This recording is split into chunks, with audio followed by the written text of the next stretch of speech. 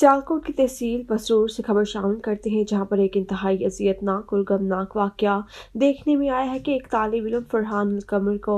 इलाका के नौजवान मसमी मोहम्मद जुबैर वल्द अफजल ने देदा दलेरी से घर में घुसकर गोलियाँ मार कत्ल कर दिया। तफसीत के मुताबिक थाना सदर के थाना सदर पसरूर के इलाके मौजूद तलवंडी अनायत खान के रिहायशी नूर अल कमर का बेटा, जो तालीम हासिल कर रहा था, इलाका के जट बरदरी ने ज़ाती इनाद और मामूली लड़ाई झगड़े के बाद उनके घर में घुसकर सर में गोलियाँ मारकर कत्ल कर दिया।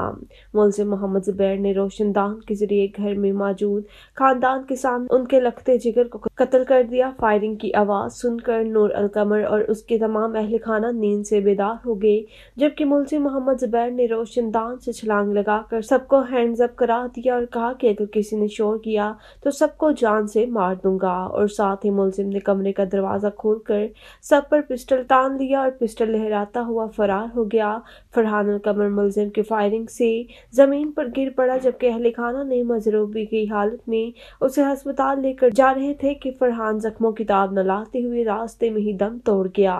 मकतूल के वालिद का कहना है कि तलवंडी इनायत खान का रिहायशी मुलजिम मोहम्मद जुबैर वल्द मोहम्मद अफजल जट कौम रात के अंधेरे में हमारे घर के रोशनदान में बैठकर गाली गलोच कर रहा था कि दरवाज़ा खोलो और फरहान को बाहर निकालो। हमारा दरवाज़ा न खोलने पर मुलजिम ने जान से मार देने के लिए सीधे फायर कर दी और वह फरहान के कान और गर्दन पर लगे, जिससे वो शदीद जख्मी हो गया और जख्मों की ताब न लाते हुए अस्पताल जाते हुए रास्ते में ही दम तोड़ गया।